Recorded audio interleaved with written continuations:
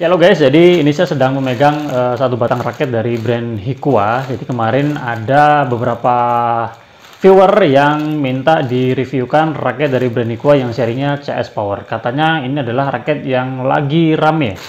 Beberapa kali ada yang menanyakan ya, kemudian saya iseng-iseng coba cari barangnya di marketplace. Tetapi anehnya saya tidak menemukan uh, barang itu di marketplace ya. Kemudian ada yang uh, request lagi, kemudian saya tanya, Kemudian ada yang menjawab, katanya ini uh, bisa dicari di Facebook ya. Jadi ini ramenya tuh di Facebook ya. Setelah saya cari ketemu tokonya yang menjual itu adalah Cendol Sport ya. Jadi Cendol Sport ini kalau saya perhatikan ya dia berkolaborasi dengan Hikua mengeluarkan uh, produk raket yang diberi nama CS Power. Jadi CS itu adalah Cendol Sport ya, Cendol Sport. Kemarin waktu saya tanya-tanya ke channel sportnya itu ada tiga seri ya. Eh, masing-masing uh, uh, dibedakan dengan beratnya, berat 3U, 4U, dan 5U. Jadi menyesuaikan dengan gaya permainan kalian. Kayak kalian bermainnya seperti apa? Kalau lebih bermain power, disarankan yang 3U. Kemarin saya coba tanya, kalau misalkan uh, imbang, menyerang, dan bertahan, katanya ambil yang 5U ya. Nah ini jadi saya ambil yang 5U. Nanti kita akan lihat uh, barangnya seperti apa ya. Uh, kemarin sudah sampai ya, barangnya baru ini tadi sampai, sudah saya unboxing dan sudah seperti ini. Nanti kita tinggal buka aja. Jadi untuk harganya kemarin uh, dibanderol 590.000 ya. Kemudian kalau dengan ongkos kirim jadinya 600.000 uh, dapat uh, satu batang raket, kemudian sama tas serut seperti ini ya. Oke, kita langsung buka aja ya barangnya dan kita dapat uh, grip handuk ya dari Hikua ya, towel grip ya. Oke, seperti ini barangnya. Jadi ini sudah saya unboxing ya, sudah saya unboxing. Jadi kita tinggal buka aja. Jadi ini dia raketnya. Nama serinya adalah CS Power ya, Spirit of Deso. Jadi ini adalah jargonnya mereka. CS Power, Cendol Sport Power Spirit of Deso ya. Spirit of Deso ya, tapi harganya 590.000 untuk brand sekelas Hikua bisa dikatakan lumayan ya. Meskipun uh, apa ya ada yang menjual di harga segitu ya tapi untuk brand Hikua dengan harga segitu bisa dikatakan lumayan ya. Kita akan lihat uh, raketnya seperti apa dengan harga segitu kira-kira. Oke okay nggak raketnya? Oke okay, jadi ini dia raketnya ya. Uh, Hikua CS Power 8 ya. Oke okay. hmm, ya ya ya ya ya. Kayaknya kemarin saya mesen yang Kemarin saya kayaknya mesen yang 5U ya, tapi dikirimkannya yang 3U. Kalau nggak salah saya mesennya warnanya pink ya, tapi dapatnya yang warna ini ya. Oke, nggak apa-apa. Oke, jadi seperti ini ya uh, raketnya ya. Kemudian kemarin saya tanya materialnya apa, katanya carbon lock ya, carbon lock. Nah, kita akan lihat carbon lock itu di bagian apanya ya. Oke, jadi uh, kita lepas dulu ininya. Oke, kita lepas dulu. Aduh kok agak susah nih. Hikua CS Power Spirit of Deso. Ini dia raketnya ya, Hikua CS Power 8 ini beratnya 4U ya. Kemarin saya pesennya kalau nggak salah yang 5U tapi dikirimnya yang 4U. Oke. Kemudian seperti ini ya. Uh, dia tanpa tanpa grip ya. Jadi langsung di coating seperti ini dan kalian jangan khawatir tidak perlu uh, melilit gripnya ini dengan uh, isolasi tape itu ya. Karena ini langsung aja dibungkus dengan wrap atau uh, grip juga bisa. Jangan khawatir karena ini sudah di coating ya jadi aman ya. Oke uh, jadi saya dapat uh, beratnya di sini 83 dan balance point-nya 310 ya. Oke ini berat tanpa grip ya. Oke seperti itu. Kemarin kenapa saya memilih yang 5U karena dia tanpa grip guys, tanpa grip. Makanya saya pesan yang 5U karena kalau dengan grip pasti nanti jatuhnya di uh, eh, 4U atau 3U ya. Oke, ini kalau 83 kemudian dikasih grip uh, jatuhnya nanti bisa ke 3U ya. Tapi oke okay lah, ini kalau feel-nya seperti ini, oke okay ya. Kalau kosongan seperti ini feel-nya enak guys. Oke, tapi nanti kalau udah diisi nggak tahu nih jadi berapa nih beratnya. Oke, kita akan lihat ya uh, dari atas ya. Oke, seperti ini uh, Hikwa uh, metric headset. Kemudian jumlah groundnya ini kalau nggak salah uh, tidak biasa ya, jumlahnya 76 ya. Nanti kalau salah saya ralat. Kemudian di sini ada keterangannya uh, CS power ya. CS Power, di sini juga CS Power, di baliknya juga sama, CS Power, CS Power. Oke, kemudian untuk frame shape-nya kurang lebih ya sama ya dengan rata-rata Hikua pada umumnya.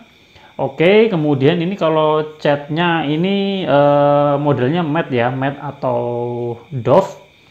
Oke, kemudian eh, seperti ini, ada keterangannya eh, Hikua ya, Haki Kemudian di sini ada keterangannya uh, beratnya di sini 4U. Kemudian ada keterangannya di sini nama serinya CS Power 8 ya. Jadi ada CS Power 7, 8 dan 9 ya. 7 itu yang 5U, 8 itu 4U dan CS Power 9 itu yang 3U ya. Nanti kalau salah uh, tolong diralat ya. Buat kalian yang sudah mencoba ini silakan uh, sharing pengalaman kalian. Penggunaannya gimana, feel-nya gimana, performanya gimana ya. Oke, ini medium ya. Stiffness-nya dia medium. Oke, medium. Kemudian ini limited edition ya. Jadi kalau limited edition pasti dia uh, gold ya, gold cap ya. Kemudian max tension bisa 33 lbs. Oke, biasanya 32, ini bisa 33. Oke, kemudian kita ke bagian cone-nya atau top cap. Kita bisa melihat di sini ada nama brandnya Hikwa, ada uh, bendera Indonesia, ada Hikwa lagi, kemudian ada hologramnya. Dan ini uh, ya kalau kita berbicara soal kualitas cat finishing dari Hikwa. Seperti itu ya kita uh, apa ya kalau menurut saya masih perlu berbenah ya untuk Hikwa di raket-raketnya.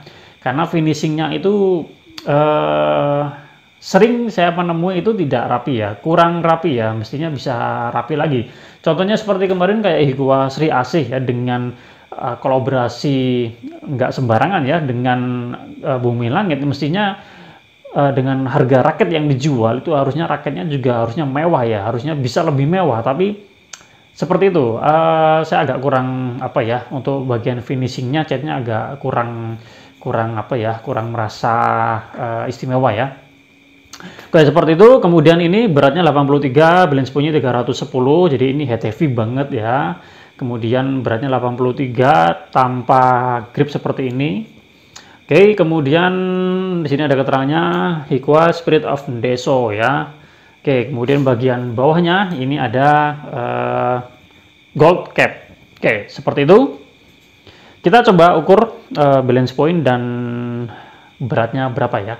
Oke sekarang kita akan ukur beratnya guys Ya oke guys, jadi ini sudah saya uh, barusan aja saya uh, timbang ya untuk beratnya. Nah, beratnya ini ternyata di angka 79,9 atau eh, uh, 80 ya. Jadi agak berbeda dengan ini ya. Uh, saya melakukan perhitungan sendiri, jatuhnya di angka 79,9, kemudian saya coba timbang lagi, jatuhnya di 80. Jadi ya 80 gram ya, kita anggap aja 80 gram. Kemudian balance point-nya Balance point-nya kalau saya ukur sendiri itu ada di angka 289, hampir ke 290, tapi nggak nyampe 310. Di sini padahal terteranya beratnya 83 dan balance point-nya 310 ya.